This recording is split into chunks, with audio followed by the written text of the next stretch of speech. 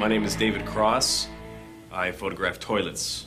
To me, the commode is like a universe, and I can manipulate that universe just by flushing. I know a lot of my critics are saying that, uh, that I'm wasting water, but uh, I think art is more important than water. My, my dream is to go to, uh, to get a grant so I can go to Peru because uh, in the southern hemisphere, the toilets flush clockwise, not counterclockwise like they do up here. And I feel that that would really add some importance and versatility to my toilet uh, toilets. People come here to see my work because they know it says something. These photographs are terrible. No, but th- they're good.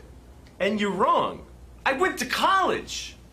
Basically, see, MTV will show you a lot of crap and they'll tell you it's art. But I show you crap and it's like art.